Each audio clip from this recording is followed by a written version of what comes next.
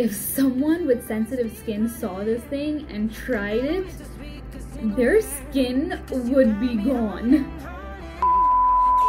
For this time only, during this period of quarantine, I am going to be responding to all the DMs inquiring about skin.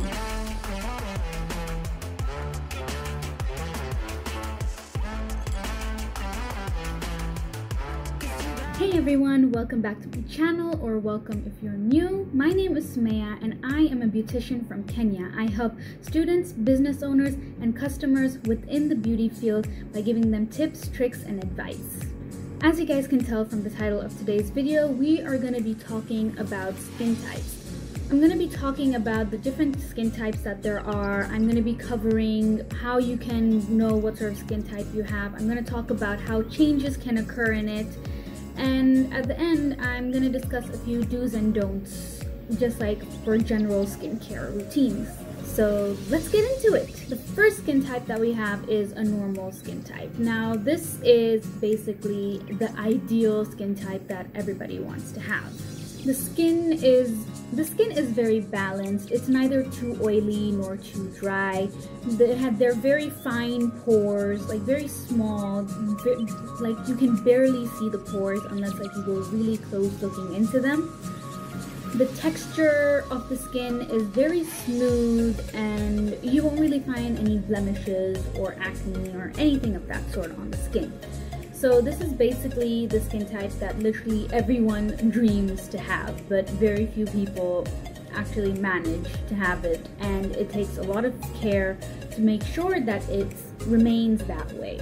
However, it is very likely that as a person grows older, if they have normal skin, that their skin will go dry.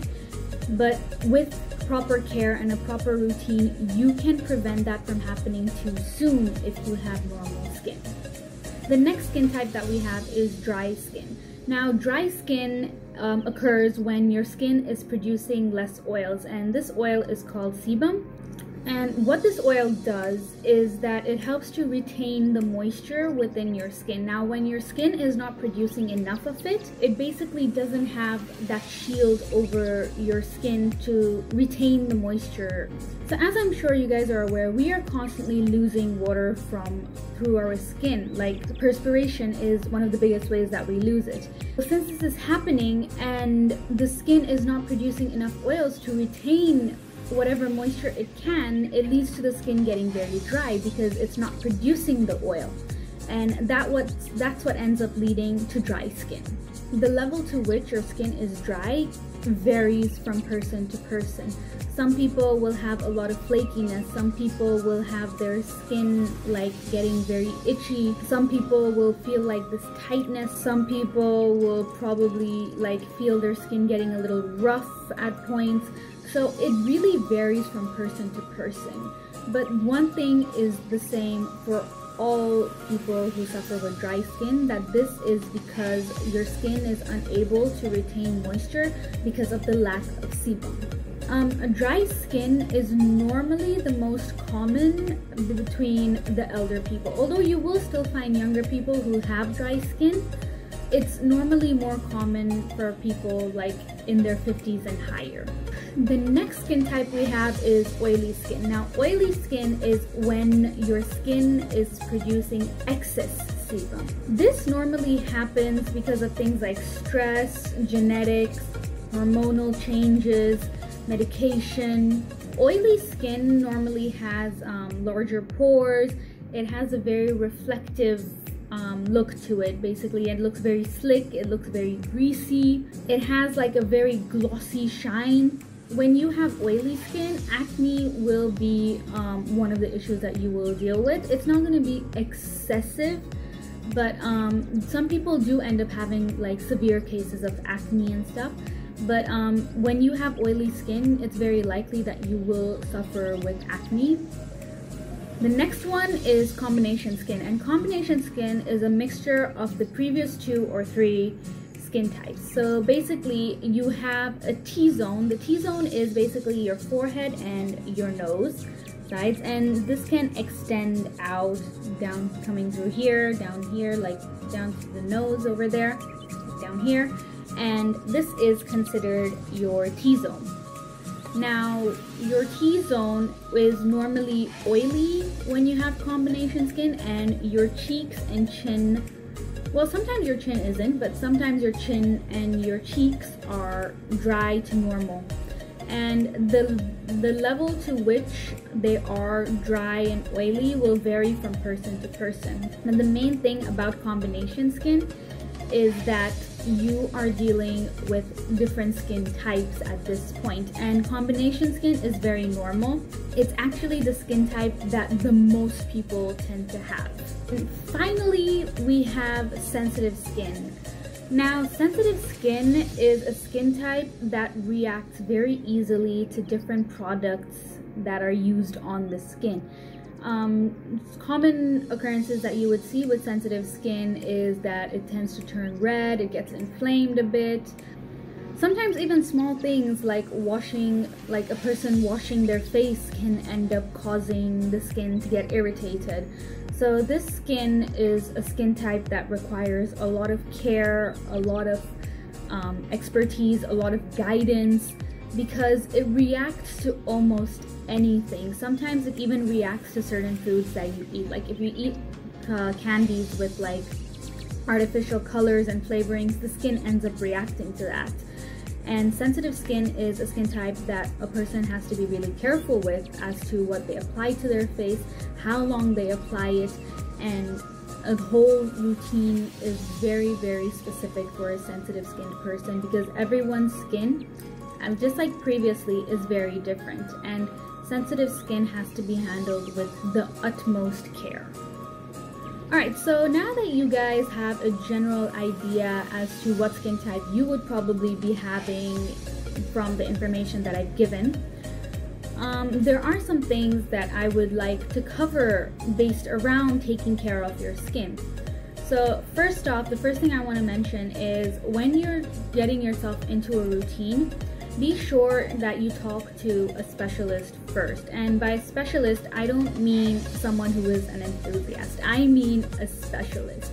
The difference between an enthusiast and a specialist is that an enthusiast is someone who, through their own interest, has just gone on to do things related to skincare, but their routine is going to be based off their skin and they will advise based off the stuff that they have used. They will recommend products and stuff, but they will recommend it to you because it's like this has suited my skin.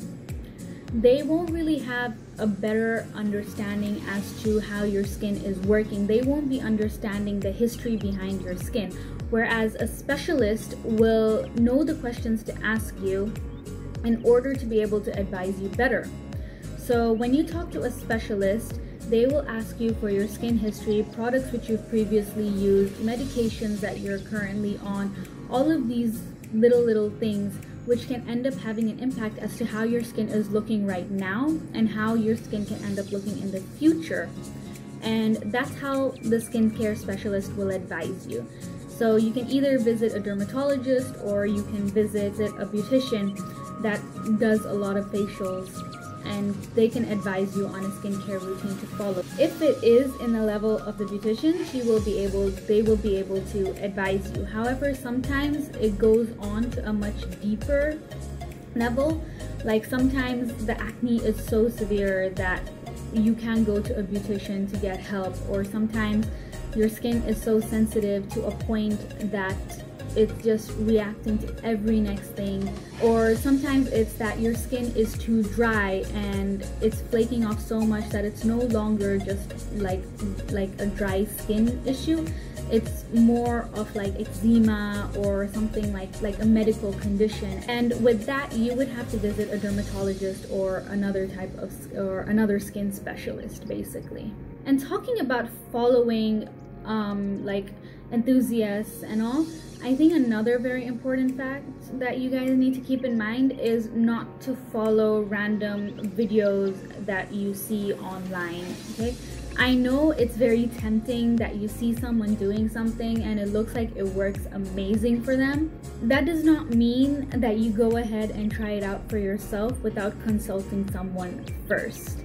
Make sure you consult a specialist first I remember some time ago, um, I'd seen a video on Instagram and someone had mixed up um, this homemade face mask and it was basically a bunch of dry ingredients and they put apple cider vinegar in it and then they mixed it up and like applied it to their face.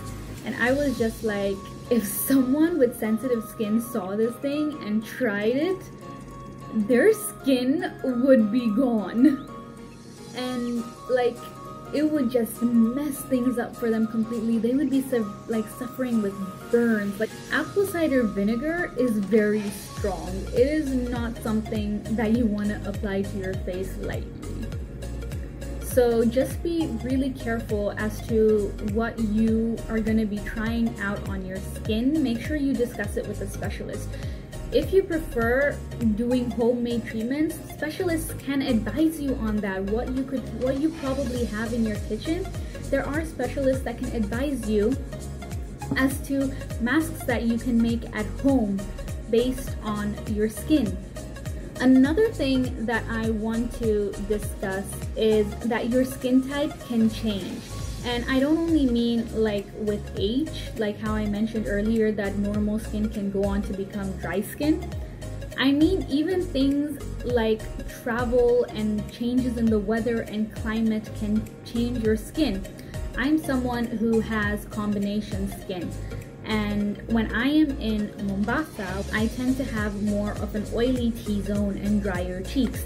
But when I go up country to like Nairobi, my skin goes totally dry and dull.